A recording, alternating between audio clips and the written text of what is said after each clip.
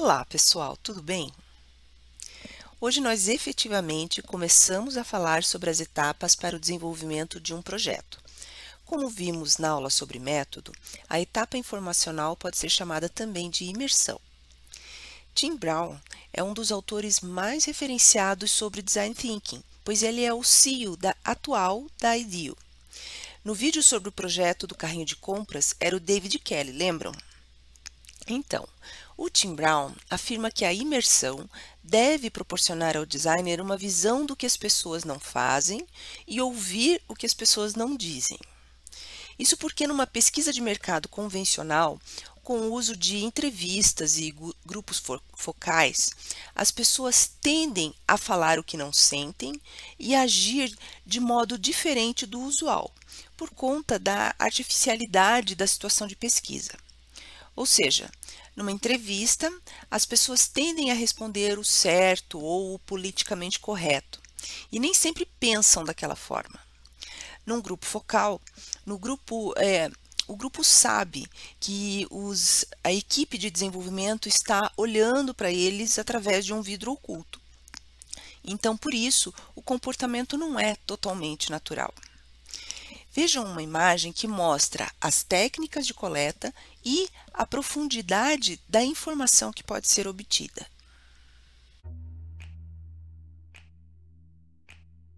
O formato de triângulo é usado nessa imagem pois expressa bem cada parte.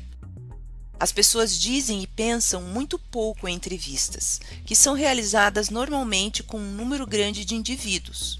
Contudo, geram também um conhecimento mais superficial, conhecimento explícito. Para entender o que as pessoas fazem e usam, deve-se observar o usuário no seu local de uso natural do produto. Nesse caso, o conhecimento obtido é observável e tácito. Mas a ideia é conhecer o que as pessoas sabem, sentem e sonham. Para isso, usa-se técnicas mais interativas, como uma sessão generativa.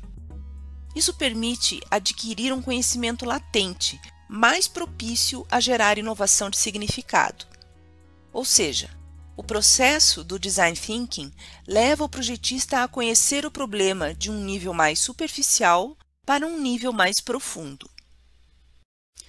A fase da imersão é dividida em imersão preliminar, imersão em profundidade e análise síntese. Para cada uma dessas etapas, a literatura nos indica algumas técnicas de coleta e análise de dados.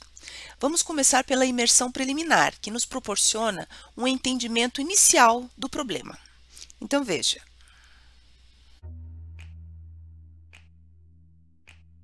Na imersão preliminar, realiza-se uma pesquisa de campo preliminar que auxilia no entendimento do contexto do assunto a ser trabalhado. É importante nessa etapa conseguir identificar comportamentos extremos que poderão ser estudados mais a fundo num segundo momento da imersão. Finalmente, essa etapa serve para definir o escopo do projeto e suas fronteiras, além de identificar os perfis de usuários e outros atores-chave que deverão ser abordados. Você percebeu que a imersão preliminar é o primeiro contato do projetista com o problema. Então veja quais técnicas são utilizadas nessa etapa. A pesquisa exploratória é a pesquisa de campo preliminar que auxilia a equipe no entendimento do contexto a ser trabalhado.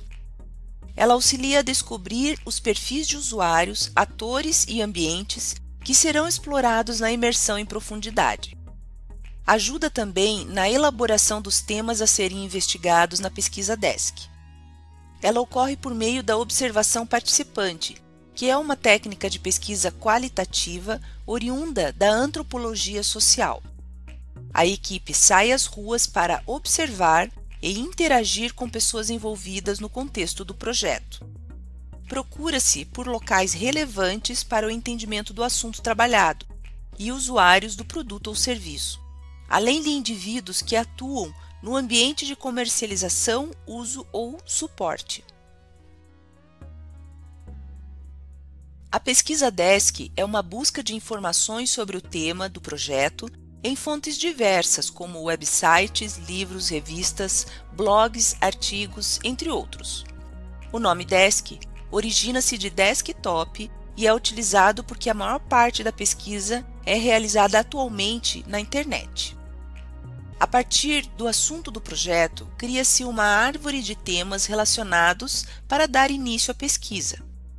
Tais insumos muitas vezes são obtidos durante a pesquisa exploratória e vão crescendo e se desdobrando à medida que o pesquisador encontra novas fontes e citações de temas relacionados que possam trazer informações relevantes para o projeto.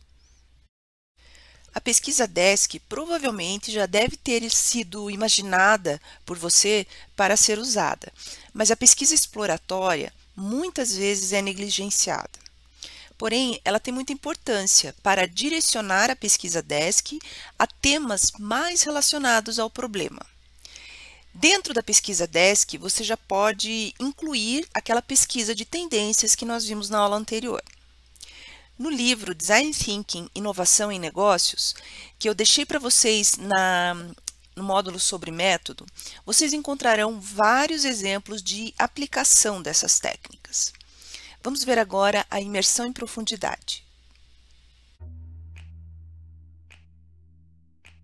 Na imersão em profundidade, deve-se realizar um plano de pesquisa, definindo o protocolo de pesquisa primária, listagem dos perfis de usuários e dos atores-chave para recrutamento.